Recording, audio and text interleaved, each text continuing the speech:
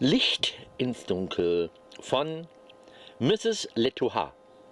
Licht ins Dunkel von Mr. Nguyen Van Dai. Beide Menschenrechtler inhaftiert in Hanoi. Vietnam. Man braucht sehr schnelle Füße wie ein Hase, um retten zu können, wenn man darf. Öfters mal anders aufsagen. Licht ins Dunkel der beiden Menschenrechtler, die sich keinem Vergehen schulden, schuldig gemacht haben, nur der politischen Auffassung in Vietnam. Und wenn man sich für Menschenrechte global, nicht lokal einsetzt, dann sollte man immer die Möglichkeit haben, pro Mensch etwas tun zu dürfen, ohne dass man Repressalien zu erwarten hat.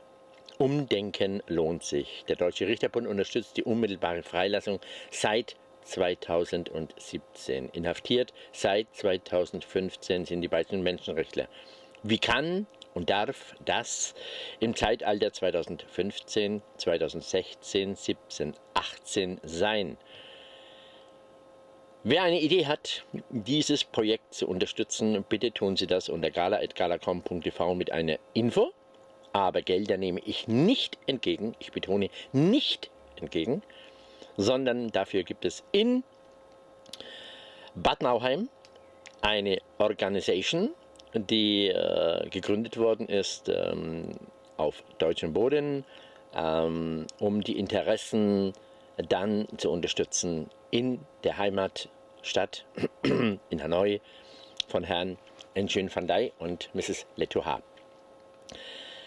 Jeder Cent zählt. Sie können auch zum Beispiel Pfandrückgaben von Flaschen auch spenden.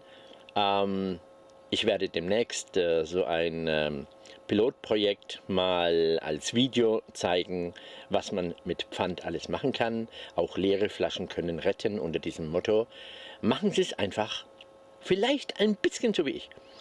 Und man braucht schnelle Gedanken wie dieser schnelle Hase hier. Vielen Dank an Douglas für diesen Hasen im Sinne mehr Zivilcourage. Zivilcourage geht alle an, jeder kann der Nächste sein. Wer wegschaut, wer weghört, ist Täter. Uli Hoeneß, FC Bayern Präsident.